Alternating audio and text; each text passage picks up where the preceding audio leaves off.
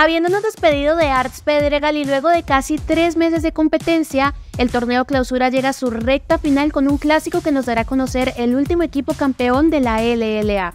Por ello, veremos el recorrido de ambos equipos históricos previo a que baje el telón este 24 de agosto en Gamergy. Esto es Camino a la Final.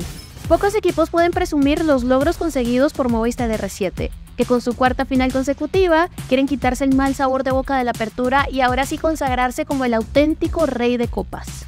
No fue un camino fácil para los dirigidos por Kim, quienes arrancaron la fase de grupos con un empate frente a Estral para luego intercalar entre victorias y empates. A pesar de todo, Movistar R7 se mantuvo siempre en el liderato. Si bien en algunas ocasiones compartieron la punta de la tabla con Isurus, fue en la quinta semana donde lograron despegarse gracias al cuadra Kill Deseo, con ello quedándose para siempre en el primer lugar. Con la llegada de los playoffs, R7 enfrentaba a Estral. Era la oportunidad de vengarse por la final de la apertura, pero las cosas no empezaron bien. Con un 2 a 0 para las Águilas gracias al dominio de José Diodo y la presencia de Snacker en las batallas por equipo, parecía que la historia de Abril se repetiría. Pero entonces el arco iris logró posarse por encima de las Águilas. Odi mostró una omnipresencia increíble en el mapa y la dupla de Seo Lions logró plantar cara a la Snackerman, esta serie fue digna de una final, pero en esta ocasión Movistar R7 fue el vencedor. Ya en semifinales R7 se enfrentó a Isurus, un clásico entre los dos finalistas de la primera LLA en Colombia. A pesar de que Isurus tuvo un excelente tercer juego, Summit, Odi y Seo estaban a otro nivel. Con ello Movistar R7 consigue la victoria con un 3 a 1 y llegan a su cuarta final consecutiva y su sexta total en la LLA.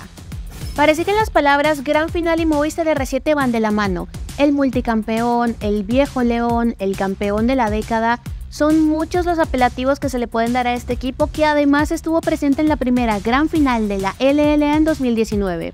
¿Cerrarán esta etapa como campeones? Pasemos a Infinity, una escuadra llena de logros e historia, siendo los artífices de una de las mejores representaciones de Latinoamérica en un campeonato mundial. El conjunto costarricense llega hasta final contra todo pronóstico, mejorando semana tras semana hasta alcanzar la tan ansiada final que les había sido esquiva durante tres años. El arranque del infinito fue todo menos positivo. Empataron contra Isurus y Estral en la primera semana para después caer sorpresivamente contra Leviatán en semana 2, pero luego lograron recuperarse gracias a su victoria contra Six Karma en una serie apretadísima. Luego llegó la fase de vuelta.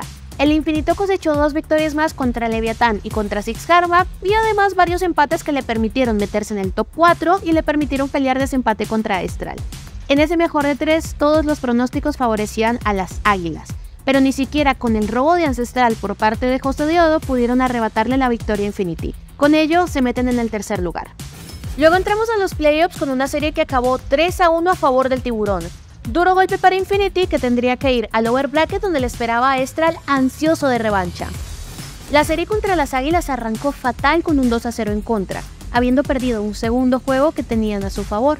Pero Infinity es un equipo que conoce muy bien cómo luchar contra la adversidad, y de la mano de Lesa y Grell lograron el descuento, el empate y la remontada, dejando de esta forma fuera al actual campeón.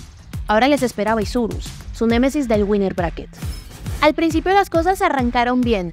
Isurus dominó el segundo juego y controló el tercero. Aparentemente el tiburón se iba a quedar con la victoria. Infinity fue víctima de múltiples robos de dragón y ganaban unas cuantas peleas aisladas que parecían no ser suficientes para la remontada. Pero entonces apareció Trigger, el coreano, con un despliegue de habilidad y participación en las batallas por equipo le da Infinity el tan ansiado empate y en la quinta partida, la definitiva, Trigger otra vez comanda a su equipo y consigue la victoria. Con esto Infinity logra otra remontada y el tan ansiado pase a la gran final.